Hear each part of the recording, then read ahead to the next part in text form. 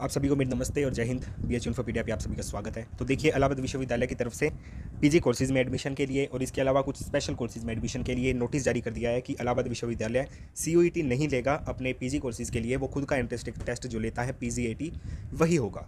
तो उसके रिलेटेड सभी तरह के नोटिस प्रोवाइड कर दिए गए हैं कौन कौन से कोर्सेज है कौन कौन से कॉलेजेस है, क्या डेट रहने वाली है, ग्यारह जून से आपकी जो है एप्लीकेशन स्टार्ट हो चुकी है और एक जुलाई लास्ट डेट रहने वाली है ऑनलाइन रजिस्ट्रेशन करने के लिए। रजिस्ट्रेशन की फ़ीस पीजी कोर्सेज़ के लिए सोलह सौ रुपये अनरिजर्व और ई डब्ल्यू एस कैटेगरीज़ के लिए है और इसके अलावा आठ सौ रुपये एस सी एस टी और पी डब्ल्यू डी कैटेगरीज़ के लिए है। पहले इनको जाने दीजिए।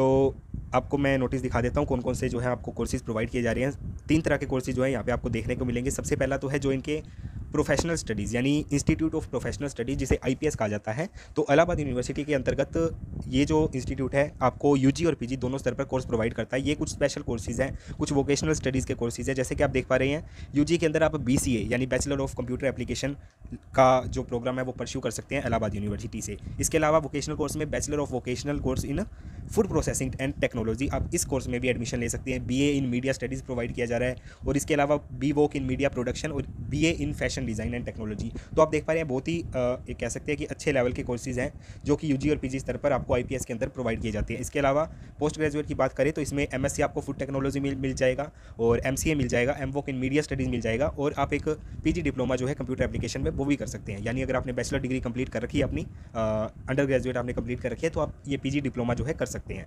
इसके अलावा इंस्टीट्यूट ऑफ़ प्रोफेशनल स्टडीज़ में ही इंटीग्रेटेड कोर्स पाँच ईयर का जो है प्रोवाइड किया जा रहा है। कौन कौन से फ़ूड टेक्नोलॉजी और प्रोग्राम में आप कर सकते हैं? बैचलर और मास्टर, या फिर आप बी और एमसीए भी इंटीग्रेटेड कर सकते हैं, जैसे अलग अलग करने के बजाय आप इकट्ठा भी कर सकते हैं। तो ये जो नेशनल एजुकेशन पॉलिसी के अंतर्गत धीरे धीरे लागू किया जा रहा है चीज़ों को, बहुत ही अच्छी बात है। तो आप ये इंटीग्रेटेड कोर्स भी जो है परस्यू कर सकते हैं। और इनके अंतर्गत कुछ कह सकते हैं कि रूल्स रेगुलेशन होती है, जैसे इनमें एक एग्जिट लेवल वाला जो है ऑप्शन है, वो आपको आगे भी दिखाता हूँ, ठीक है?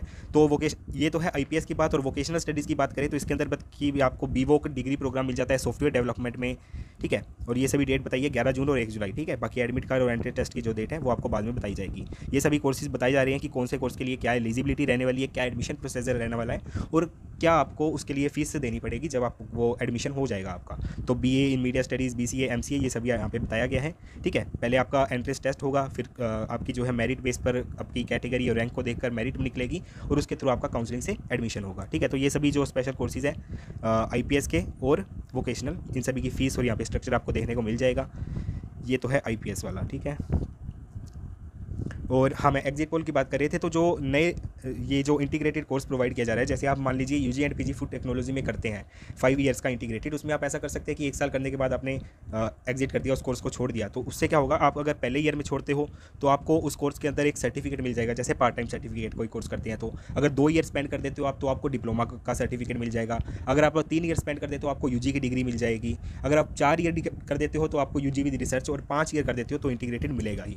इस तरह से ये जो एन ई के अंदर ये आपको नया सिस्टम देखने को मिला है। मैं कहता हूँ बहुत ही शानदार है ठीक है? तो वही एम और बी के अंदर भी यही सेम सिस्टम आपको देखने को मिल जाएगा। इसके अलावा एडमिशन प्रोसीजर की बात की जा रही है और जो भी आपके रिजर्वेशन रहते हैं, वो सभी चीज़ें हैं और फ़ीस मैंने आपको बता दी कि अगर आप रजिस्ट्रेशन करना चाहते हैं तो सोलह सौ रुपये आपकी फ़ीस लगेगी, यहाँ पे फ़ीस भी बताई गई होगी।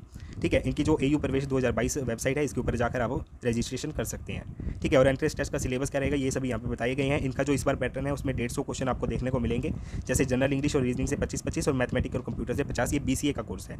ठीक है? उसी तरह से एमसीए में भी सेम यही रहने वाला है और बाकी सभी कोर्सेज का बताया गया है। इसके अलावा ये तो है आईपीएस और वोकेशनल कोर्स इसके अलावा जो है एलएलबी प्रोवाइड किया जाता है थ्री ईयर का कोर्स इलाहाबाद यूनिवर्सिटी देखिए इलाहाबाद यूनिवर्सिटी ला के लिए फ़ेमस है। कह सकते हैं कि वन ऑफ़ द पॉपुलर जो है ला के लिए अपने नॉर्थन इंडिया में तो इलाहाबाद यूनिवर्सिटी उनमें से एक है, ठीक है? इसमें फैकल्टी ऑफ़ ला के अंतर्गत L L B three year course provide किया जाता है। इसके बारे में सभी चीज़ें बताई है फ़ीस बताई है, ठीक है? और ग्यारह जून, एक जुलाई वही डेट है उसकी एप्लीकेशन की।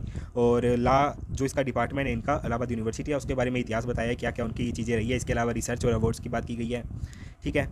और रूल्स और एडमिशन आ गया। यहाँ पे एलिजिबिलिटी बताइए कि आपको अगर आप एलएलबी करना चाहते हैं थ्री ईयर तो आपको क्या आ, कौन सी डिग्री आपके पास होनी चाहिए सर्टिफिकेट होना चाहिए?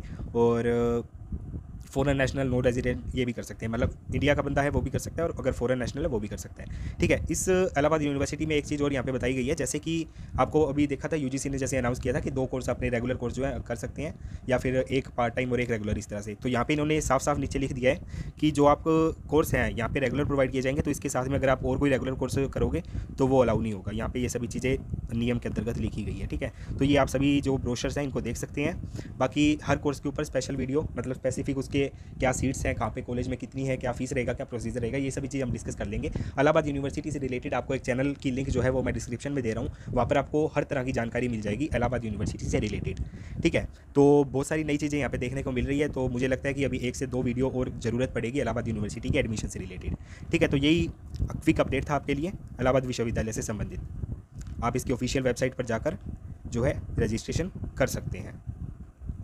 ठीक है?